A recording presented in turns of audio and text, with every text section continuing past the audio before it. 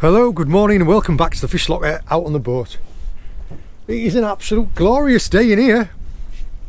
I feel like I don't even need this hat.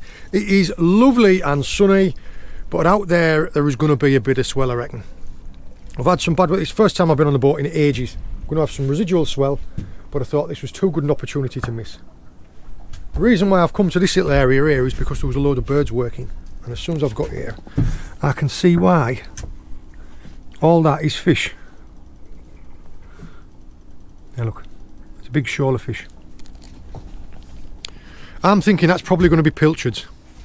That's fine for me. I'm going to put some sabikis on, try and feather up some pilchards or some joey mackerel, and we might try and drift in with a live bait over a reef on a float. We're just going to have to figure it out when we get there. If I get out and the swell's too strong, I'm going to have to spend time fishing right tight inshore. Yeah. Just excited to be out on the boat again. Let's go.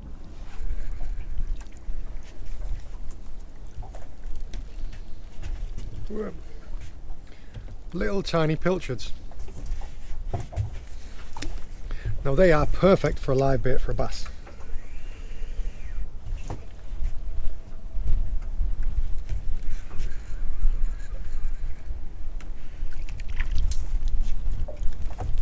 Right, pilchard and a joey.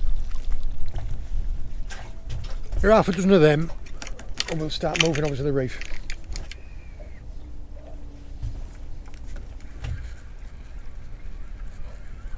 This feels more mackerel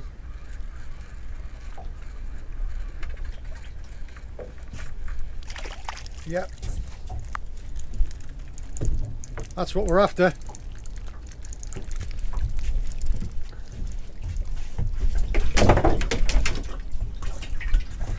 Now that we've got someone in, I'll make my way to the reef. What I'm going to do is I will, I'll rig up the float setup and I'll show you before I send it over the side. Very simple though. Yeah, good to know that the bait are here. That's a good sign.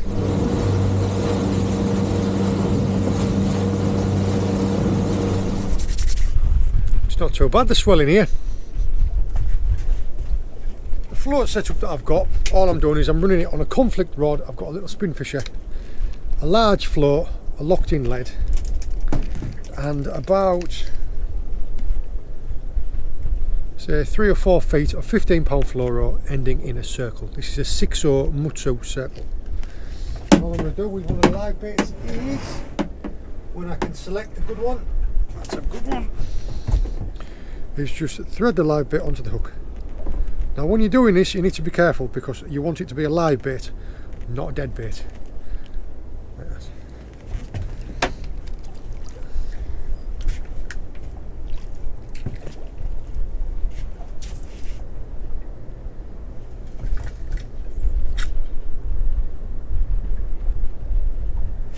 go, let the float drift away behind the boat and keep an eye out and see if it bobs down.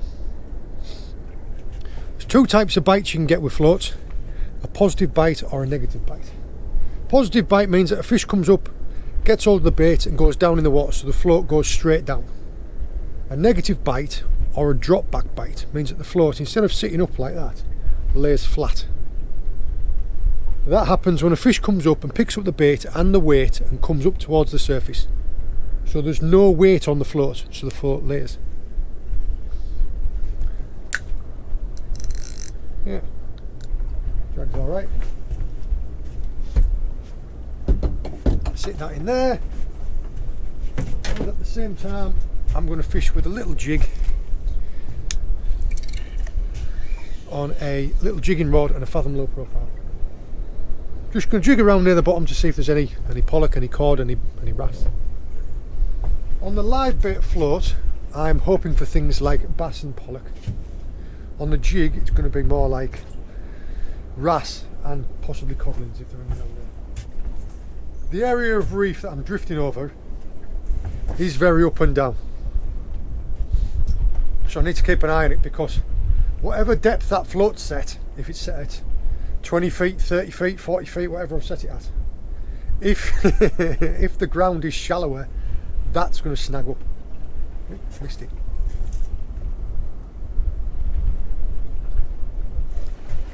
The beauty of fishing a live bait on a float like that is once you set it away it pretty much fishes itself so it allows you to fish two rods because you can fish you can't fish two lures at the same time because you can't fish two rods and you can't in but a float like that can sit and fish.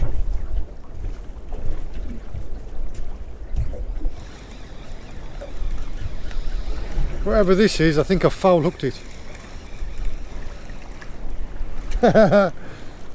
No I didn't. It was just starfish.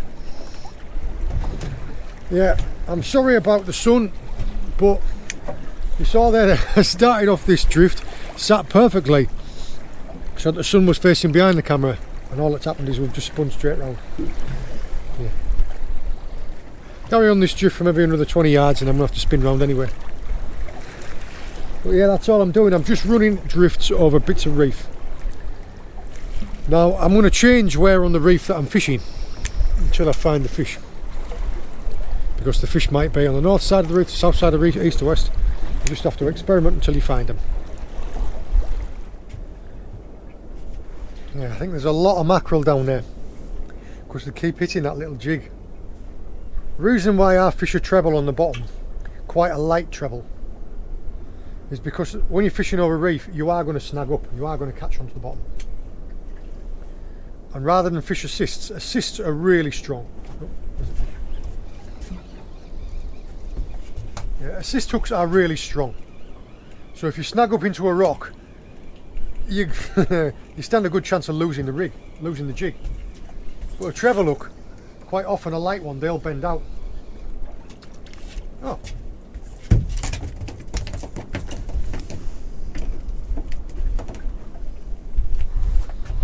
It wasn't a mackerel, it was a scad, a horse mackerel.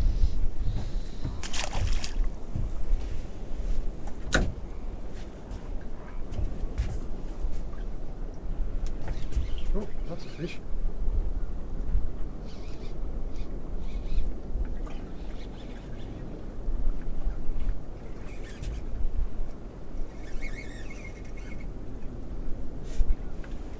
That feels like a nice fish. oh Come on. Oh no, my float's down as well.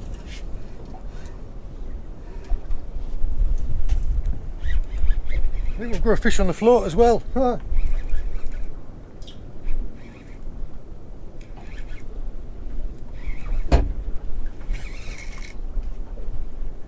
Yeah, we have. We've got a fish on the float as well.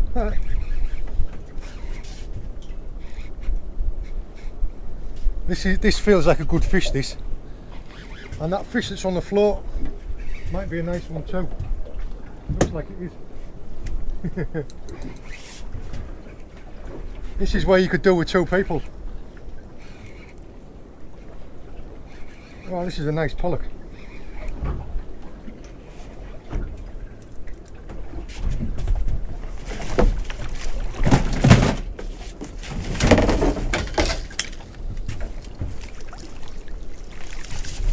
Oh, that is a nice pollock. Very nice pollock. And at the same time, there's a fish on here as well.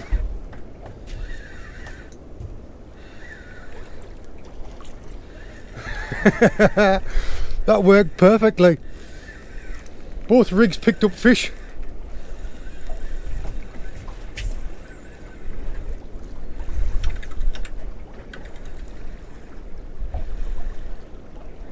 What we got here?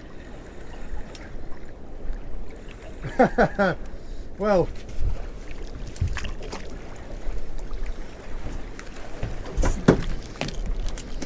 the pilchard, the live bait pilchard, picked up a nice pollock. This one's actually not very big though. That circle hook is just, just inside of his mouth. There you go drop this guy down in the live bait tank. Give him a moment to calm down.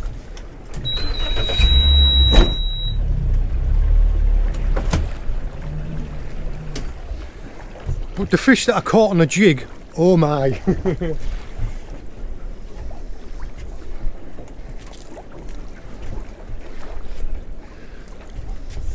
Yeah, the pollock that I caught on the jig. My goodness, that is a much better fish. That is an absolute stunner of a pollock. There's the hook.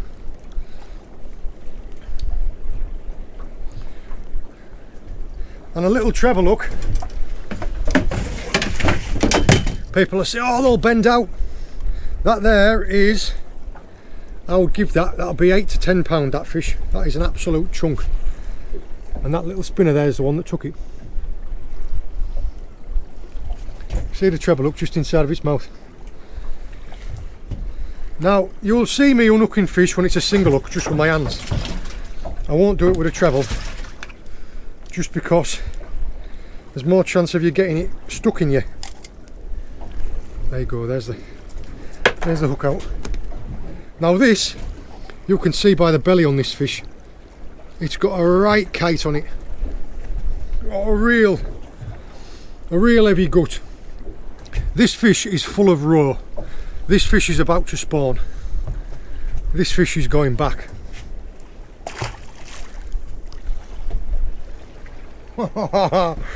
Didn't even hesitate for a second. That that was a stunner of a fish that. Now, I wouldn't mind taking a fish for the table, but that one there was a prime breeding stock fish and you could see how fat its gut was. It was full of roe, full of eggs. This is the time of year when they're coming up to spawning. They're going to be spawning in in probably a couple of weeks to a month. Now a smaller fish, if for whatever reason, if it won't if it won't survive being released, if it takes a hook too deep, for for anything like that, I will gladly take it because pollock is delicious. But at this time of year like this, if I can release those real big ones, those real big breeders, yeah, I'm happy to do that. If I could choose a couple of fish to take for the table today, it would be uh, a pollock of about four pound and a bass of about four pound. Now that that pollock's calmed down in a live bait tank, I'll unhook that and I'll, I'll get that one shot back as well. yeah, brilliant. Just exactly as I said, you can fish two rods at the same time when you're fishing one on the float. And all I've done there was I sat it in a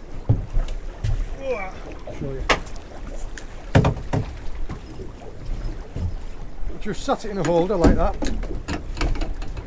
by setting the right drag all that had happened there was because it's a circle hook the fish had hooked itself and as soon as it tried to pull off it just pulled a little bit of drag away.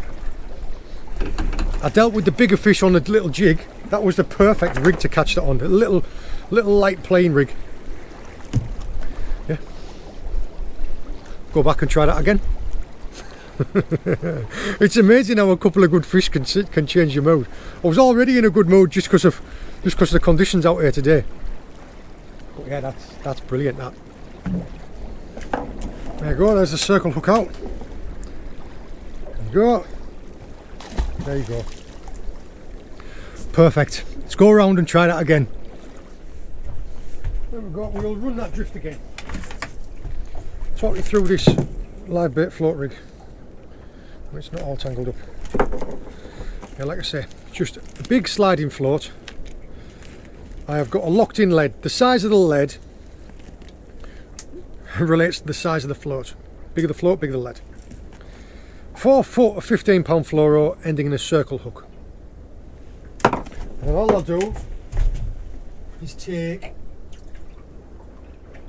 when I can catch one. There we go. Take one of the live baits that I caught earlier. Now like I say, you want to be careful when you're hooking it up because you don't want to kill it. It wants to remain a live bait. So you want to go no further back than between the eyes. If you go any further back than that, you're going to kill it.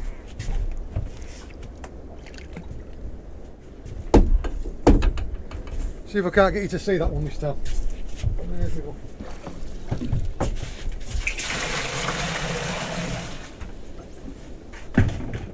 and at the same time all I'm doing is I'm fishing a little jig like this this is a little mimic speed jig now tell me that doesn't just look like a little pilchard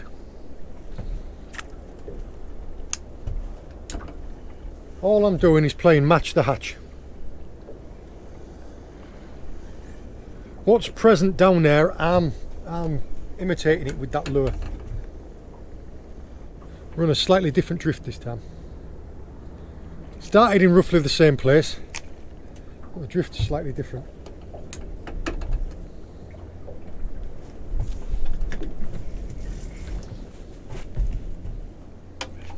Ooh, missed it. that was a smashing dive. That was a pollock.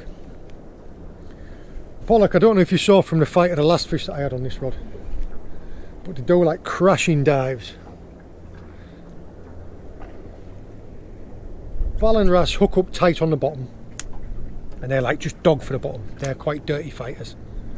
Bass kite around and when they come to the surface they thrash about. They give like head shakes whereas pollock dive and dive.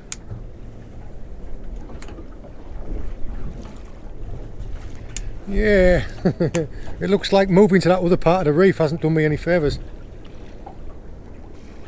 Yeah, to hook up into two nice fish like that before onto one part of the reef, all I'll do is the next the next drift is I'll go back to the original spot that I got them two fish on.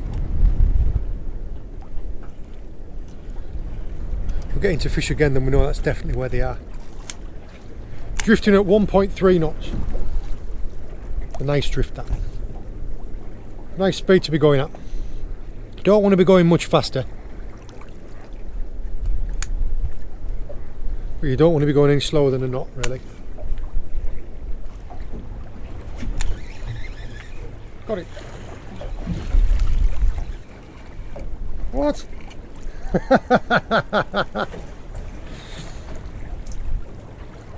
That that is a sea cucumber. These are also called a cotton spinner. And you will see why in a second. See if it's going to do it. Called a cotton spinner because they eject like white strings. It does just look like like a poop, doesn't it? yeah. It's not a fish, it's a sea cucumber. It's not going to do it.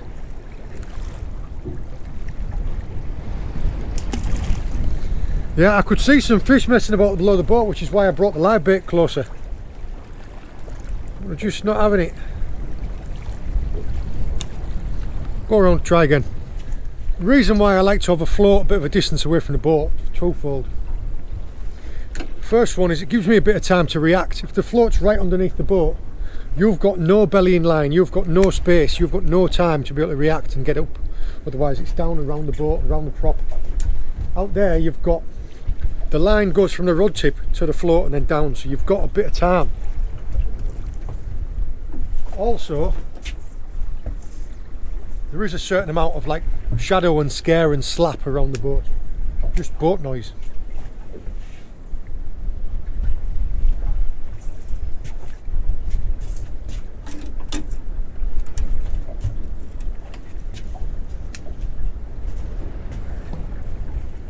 Floats down. That's a fish.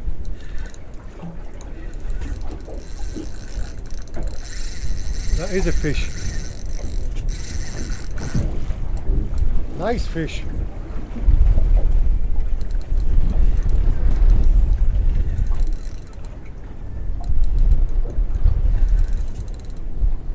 I don't know if you saw that float go down there, but that was a lovely positive bite.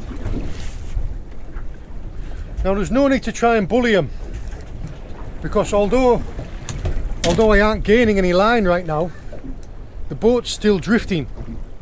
So we're still taking we're dragging the fish with us. You don't need to force it because you'll end up putting too much pressure on it. And like as you're drifting and as you as you're towing the fish with you, you will end up planing the fish further up in the water. Unless the fish starts swimming towards you, in which it stays deep, it should start planing up towards the surface.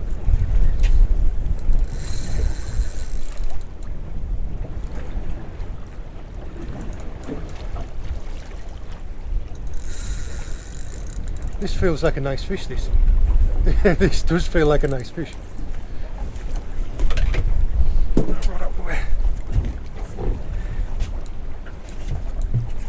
definitely bigger than the last one we had on the float.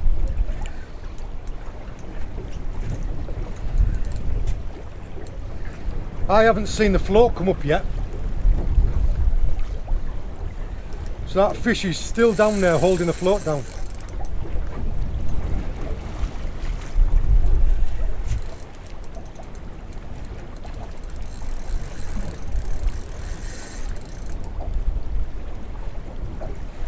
Just see the float now.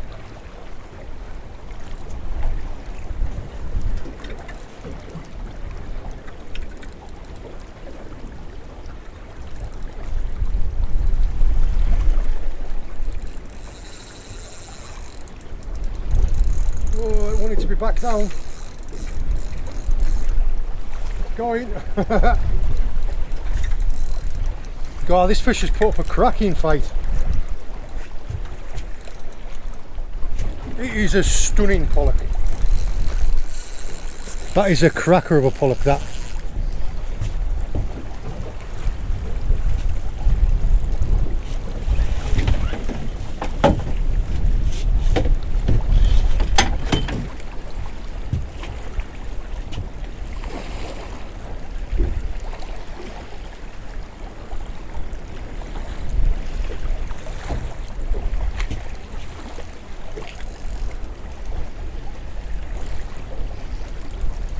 Don't need to tell you, that is an absolute flipping jumbo.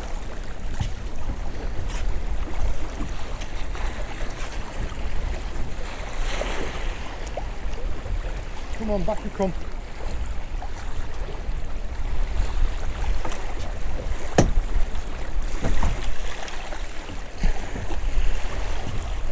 That's a double figure pollock. that is an absolute monster. Oh, Christ.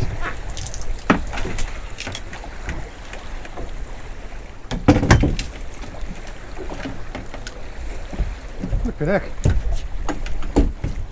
Right. Got this little rod out the way.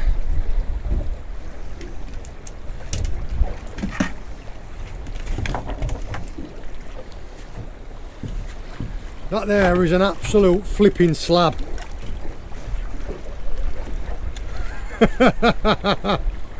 what an absolute donkey! And there is a circle hook right in the corner of its mouth, look. Oh, look at that. Pop, out it comes. This fish, I think, has actually probably been hooked before and lost. You can see that damage on that side. For anybody worrying about me holding them, my fingers don't come in contact with the gills. You slide them up inside the gill cover that is that's got to be a, like a 12 to 14 pound fish. That is an absolute flipping donkey. Look at gut on it. Look how fat it is. My goodness. Tell you what I'm to do. I'm to put it in the net. I'm to keep it revived in the water and I'm going to take a photo of this because this is an absolute slab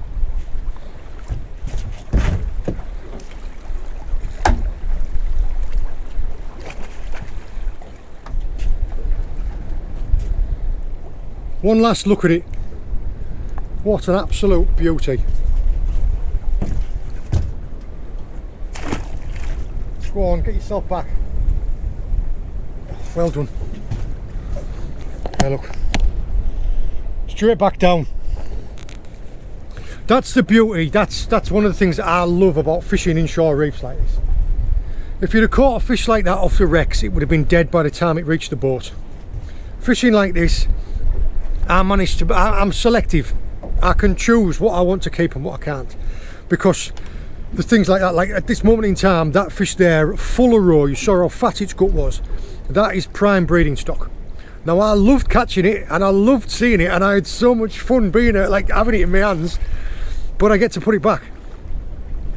And I could, I could pick one that was, that was not as, without using the word harmful, it doesn't make as much of a dent on the stock.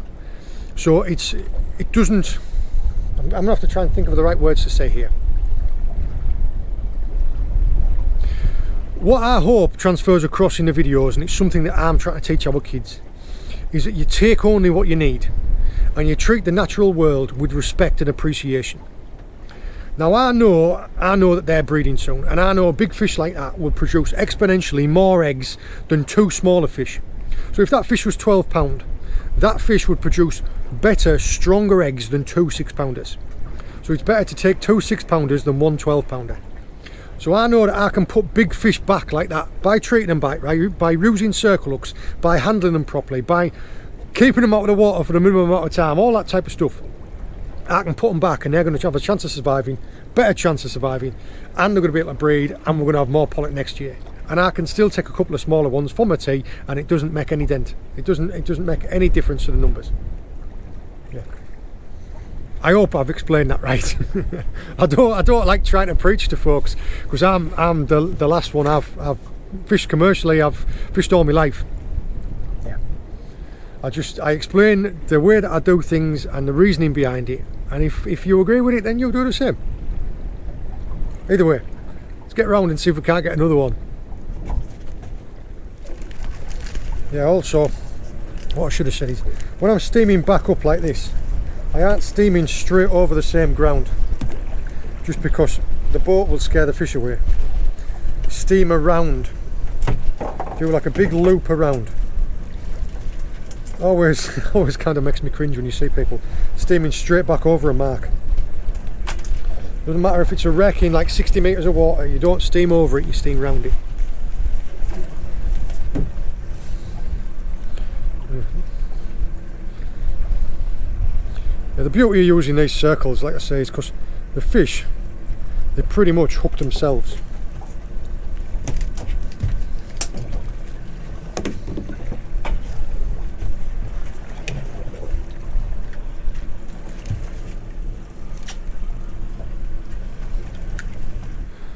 I've cut more drifts. Now the tide's starting to drop away where um, the speed of the tide it doesn't run at the same speed all the way through the tide at the start of the tide and at the end of the tide it's running quite slow through the middle of the tide is when the tide is running its fastest right so the tide is now running yeah about a knot the porpoise just popped up next to the boat that made me jump Keep an eye on that float for me.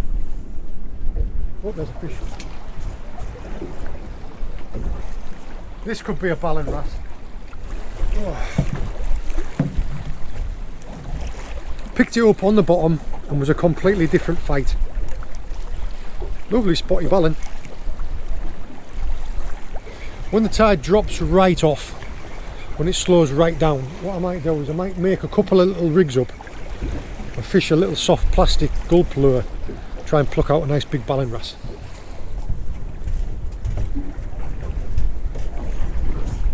When I brought that one in then found out actually someone had taken my live bait off the end and I hadn't seen it. Now that could be anything. Could have just missed a bite or it could have been like a bass come up and rashed it. You never know. But yeah, I'm out of little live bits. I'm out of pilchards now so I've had to put one of them joeys on and they are quite big. So hopefully that should mean that we'll pluck out a bigger fish. I know I don't know how that's going to be possible because we've already had some absolute stonkers. But yeah, using bigger live baits you generally catch less fish but the fish you do catch are big ones. There you go.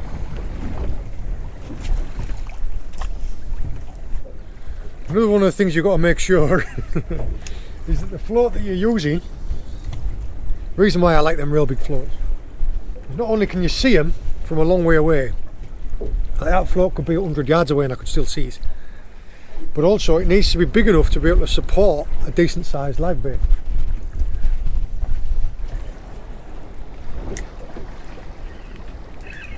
Got you.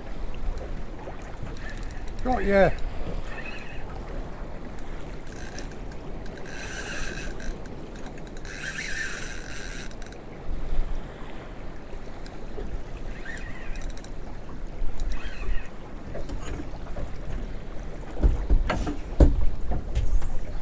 I saw that fish come up for that lure.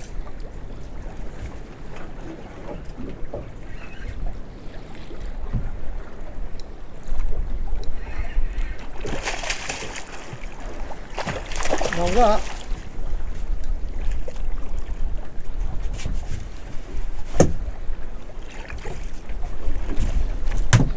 That is a nice sized fish to take for the table. That's the perfect size. Like I was saying earlier, four or five pound fish. That one, that one is my one today. what? That was a little lure. Stunning quality, healthy fish. Just the right size. We get some get some fantastic fillets off the side of that there. That'd feed that'd feed all four of us actually. Yep.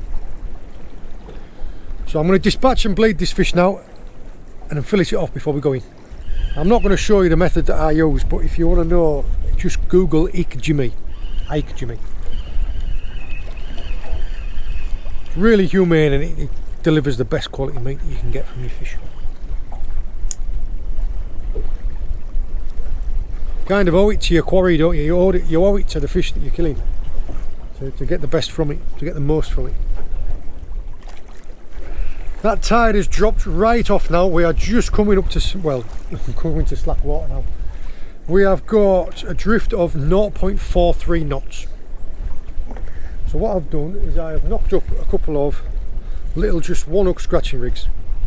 That's just a couple of loops, a standoff boom, and these are size 1 What I'm going to do is I'm going to put some of these little, what are they? They're turbo shrimps in pearl white. So not just normal shrimps, turbo shrimps. yeah, I've got a few packs of these. Uh, started LRF fishing with my little lad. So I picked up a few packs of soft plastics. And these were like in a bundle pack that I got.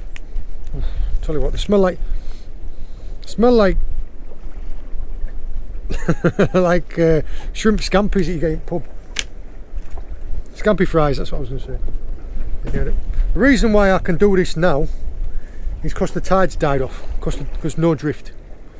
If I was trying to do this in the main flood of the tide, because I'm going to be fishing right in the rocks and the weed, this is just fun fishing. I mean, yeah, I might be really looking, I might pull out a codling or something like that, hiding in the reeds. But the wrasse live right tight on the bottom in amongst the rocks and the weed. I was doing this when there was a lot of tide, I would just lose gear instantly. I'm thinking Ballan wrasse, female and male cuckoo wrasse. Drifting at 0.1 knots. Fish have just completely dropped off the feed. Can't even pick any up on a scratching rig. I think we're going to have to move and find a tiny bit more tide. This is all about planning your day around about what the tide's doing. Knowing what the tide what the tide has an effect on the fish. I knew that the the lures and the live baits, I knew that the fish would be on the feed during the flood of the tide, during the movement of the tide. And at this slack water, you can't fish as effectively with lures unless you're fishing scratching right on the bottom. Still winkle out, still winkle out the odd fish like a ballan wrasse from the bottom. Maybe even like a really sluggish pollock.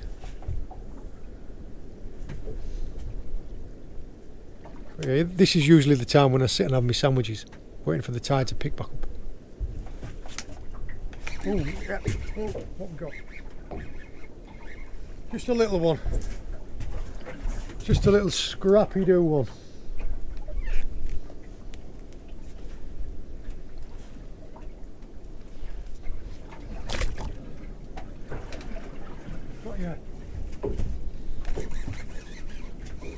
That's Rassie. With a little cheeky ballan. There just seems to be quite a lot of small ones around here.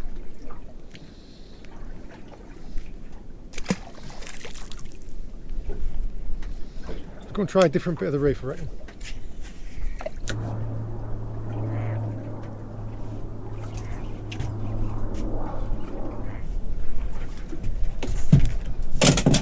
Not a monster, but they're getting bigger.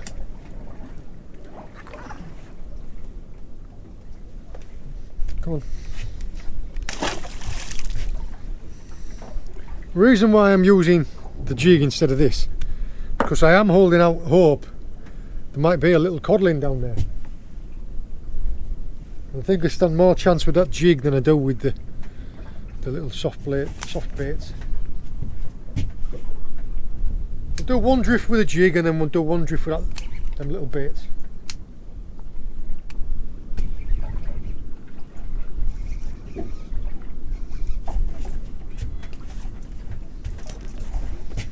Yep.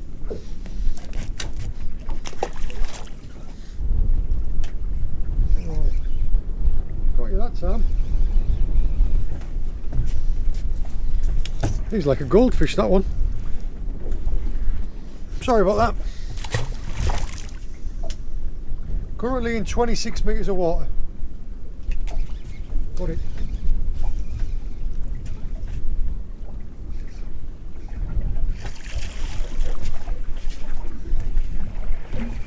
I do love this about wrasse.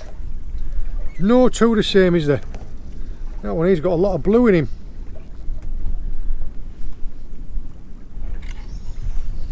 That? Five, six? Be able to do this drift for maybe another five minutes until we get too deep. We're in 29 metres now. Oh, I got you. Another one, another different colour. Try it this time with these.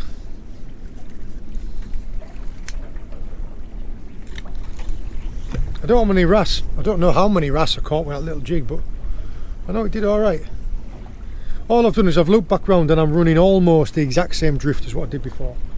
About five metres away from it. Got you. Ooh. This lad must have just had his Weetabix this morning. He's scrapped well above his weight. A very, very pale one. Can I have him back? Do I get him back?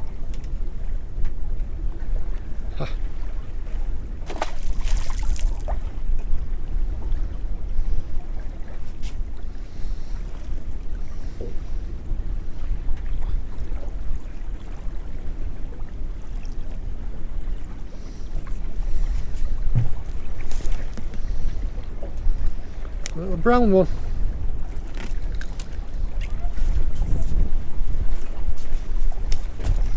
That was the pretty lad I was looking for.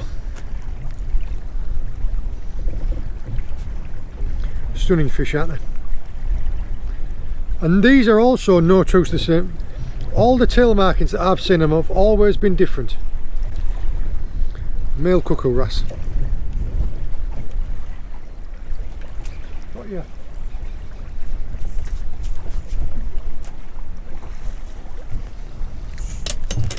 And there we are.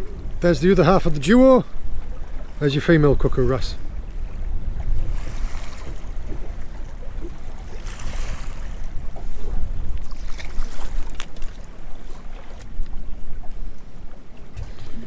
And another one for the soft plastics.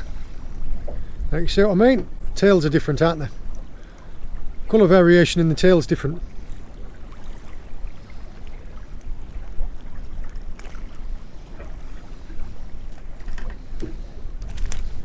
Don't do it. Whoa. I'm not going to mess around.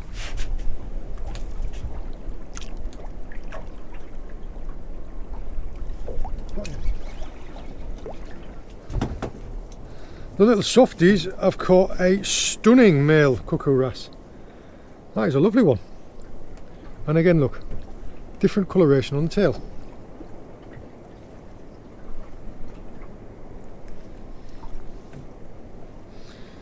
Uh, He's a lovely, yeah, a lovely stamp. They don't actually get much bigger than this. That is a really good quality one. Shadows of everything all over the place. Try to find somewhere there's no shadow. There you go.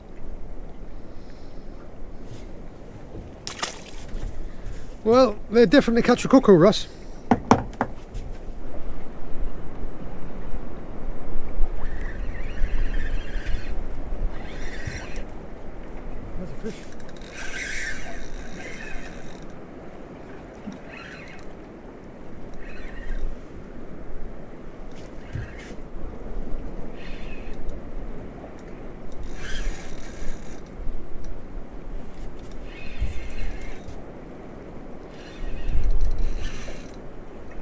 Like another nice pollock. Yeah. Oh, popped. Yeah, that was another pollock of about four or five pound. All I was trying to do there is just try to swing it around this side of the boat, dropped a little bit of slack off and it took it. It's alright.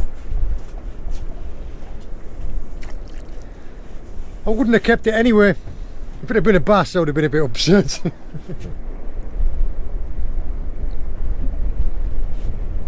That's fish.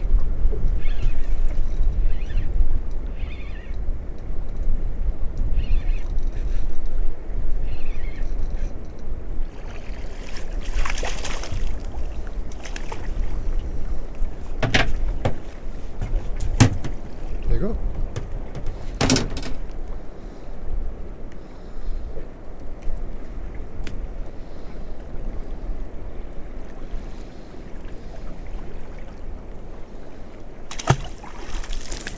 Whew. Where are we?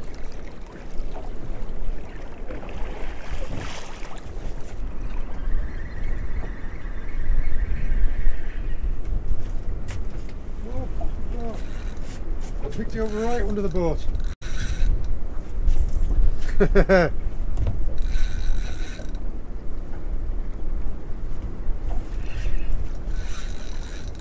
That fish picked this up right under the boat.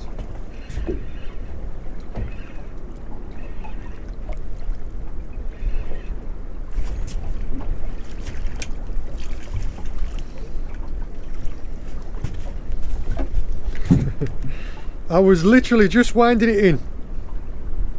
I was winding it in so that I could go and move somewhere else. and it's, it, it must have followed it up right from the bottom and thrashed it right beside the boat.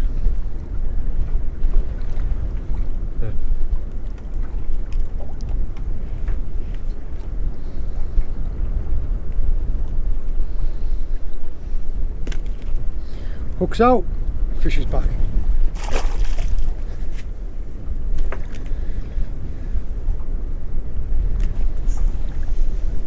I've had enough. Yeah. I think I've caught enough. What I'm going to do is I'll swing back round and I'll drift over this reef with just the live bait out and I'll gut and fillet that pollock. And when I've finished, I'll head back.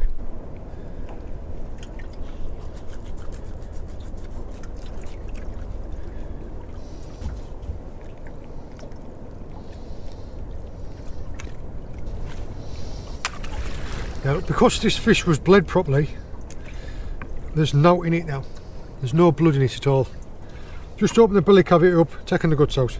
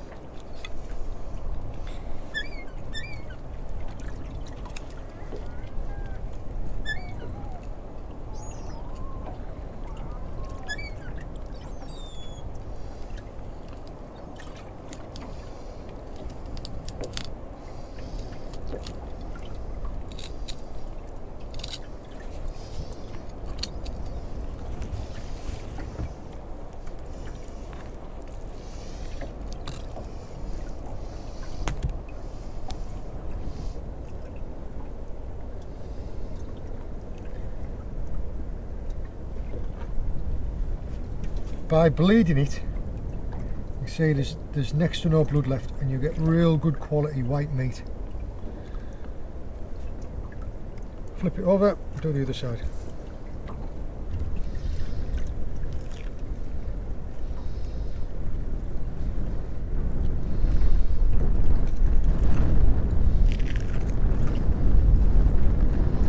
There you go.